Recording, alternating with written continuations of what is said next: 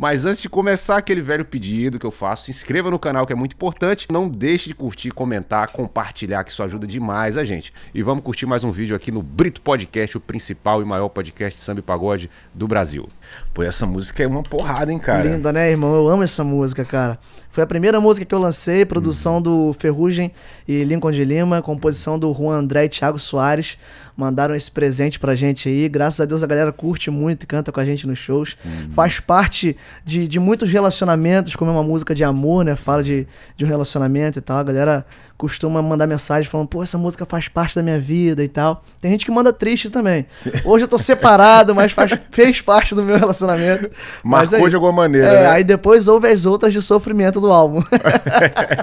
pô, tu falou do, de um cara que mandaram perguntas sobre ele, cara, para te fazer, inclusive. Que eu abri lá no, no Instagram uma caixinha de perguntas. Uhum. Aí teve gente que mandou assim, pô, pergunta pra ele do Ferrugem, desse, porque o Sim. Ferrugem foi um cara que te, te apresentou, né, cara, pro Brasil, assim, Sim. através das redes sociais dele. Pelo menos chegou para mim dessa forma, Sim, assim, né? Foi, foi assim mesmo. E, e, ele, pô, postava você pra caramba ali e tal. Sim.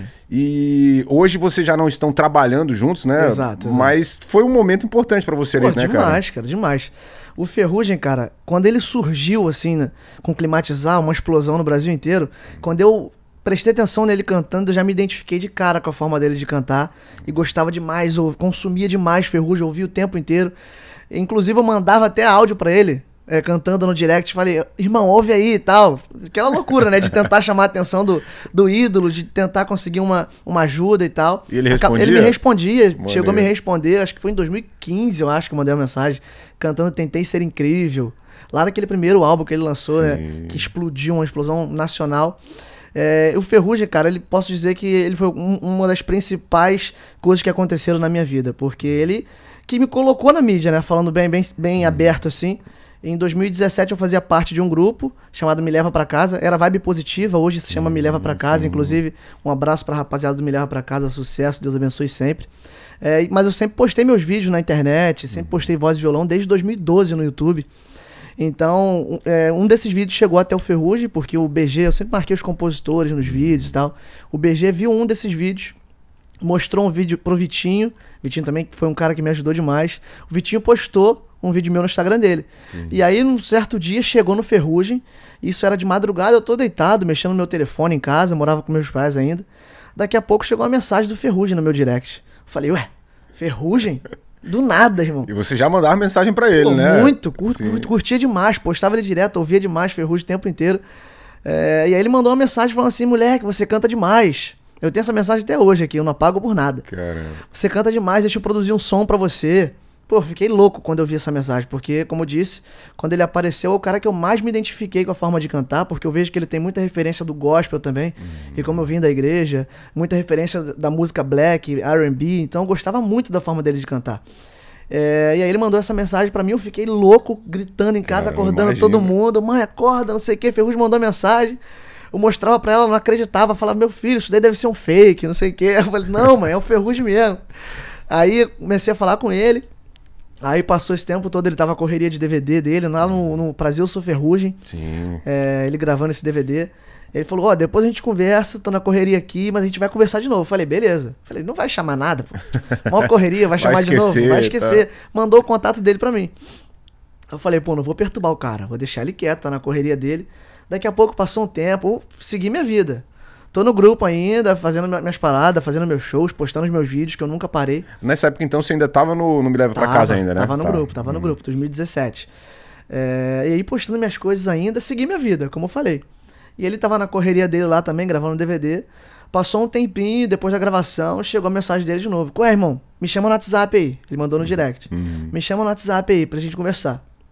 Aí eu chamei ele no WhatsApp e falei, cara, o moleque lembrou de mim mesmo. falei, realmente, então. Gostou de verdade. É, gostou né? de verdade. Aí eu fiquei louco, comecei já a tremedeira, falei, vou chamar ele, chamei ele. Aí ele falou, irmão, é, queria te chamar pra uma reunião aqui no meu escritório e tudo mais. Apresentei teu trabalho pro meu empresário e tal. Eu falei, pô, show de bola, vou na hora. Aí fui, pra, fui na reunião e tal, me tremendo, ficava lá na salinha de espera, esperando ele chegar. Aí eu tô lá, mandando mensagem pra linda minha esposa que tá sentada ali. Ela sabe como foi isso. Mandando mensagem. A expectativa, né? Mano, desesperado, irmão, desesperado. Amor, ele tá chegando, acho que é ele que tá subindo agora. Daqui a pouco toca a campainha. Bé, Ferrugem chegou. Eu me tremendo, dor de barriga, já doido pra ir no banheiro. Daqui a pouco ele entra, pô, dei um abraço nele. Foi a primeira vez que eu encontrei com ele. Dei um abraço nele. É, moleque, aquele jeito dele também. Liga pra nada, sai zoando todo mundo. Já começou a me zoar. Já deu um, um já quebrou o gelo um pouquinho, quebrou já fiquei mais calmo. Aí depois disso eu, eu, entrei pro mesmo escritório que ele faz parte. Uhum. É, aí a gente começou o trabalho.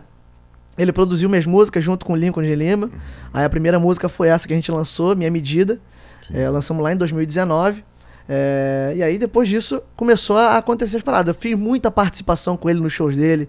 Eu lembro, Rodava o Brasil inteiro também, com né, ele. Então é por isso que também, cara, ele, ele me ajudou demais na minha carreira, fez conhecer gente muito influente que eu nunca imaginei conhecer. Na verdade, imaginava conhecer, mas nunca, não sabia como isso aconteceria. Sim. E através dele eu pude realizar muitos sonhos que, de conhecer várias referências minhas, Péricles, Bruno Cardoso, Belo. Conheci muita gente, mano, muita gente. Graças ao Ferrugem. E ele sempre hum. também postou postando meus vídeos no, no, Instagram dele, me ajudando demais. E aí, como você falou, hoje a gente não trabalha mais junto. Uhum. E muita gente gosta de supor as coisas, né? Ah, pô, o Mateuzinho brigou com Ferrugem. Não, mano, não é nada disso. Porque a gente vivia muito junto antigamente, porque a gente fazia parte do mesmo escritório. É, e ele produzia as minhas coisas, eu faz, participava dos shows dele o tempo inteiro, uhum. pelo Brasil inteiro. Então, naturalmente, a gente estaria junto todos os dias, todo, uh, todos os dias não, é, mas toda semana a gente estaria junto praticamente. Né? Uhum. Entende? Então, por isso que a gente estava toda hora postando coisa junto, a galera via muita gente junto. E aí, na pandemia, a gente encerrou nosso contrato e tal, o Ferrugem seguiu a vida dele, eu segui a minha começou umas correrias e tal, mas foi, foi somente por causa disso que o contrato hum. encerrou. Não teve briga, nossa... né? O povo acha Jamais, que irmão, sempre, gente, mano, sempre que encerra alguma coisa, o pessoal já supõe que é briga. Su... Né? Exatamente, o é. povo gosta da polêmica. Se não tiver polêmica, não é interessante é... para ninguém. Mas como assim você encerrou e não brigou? É, né? não, não tem como, pô. Mas, é, cara, a minha relação com o Ferrugem foi sempre. Na verdade, mudou um pouquinho por conta do. do, do de não estar tá tão próximo. De não estar tá tão antes, próximo, né? mas a nossa relação, sempre que a gente se fala, mano. Inclusive, ele tá até me devendo um churrasco. Olha aí. Que ele me encontrou lá na saída 7, no ponto de encontro dos músicos. Eu falei, agora eu vou falar pra ele, Ferrugem, ó, não esqueci do churrasco não, tá? Não me abandona, eu quero esse churrasco, você não vai fugir de mim, não.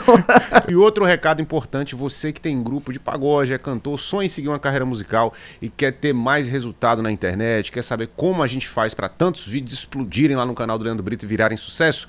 O link está na descrição da comunidade Fora da Média. Seja meu aluno e aprenda todas as dicas e segredos e caminhos para você de fato ter resultado no seu trabalho musical na internet e profissionalizar o seu trabalho, tá bom? Então, link na descrição.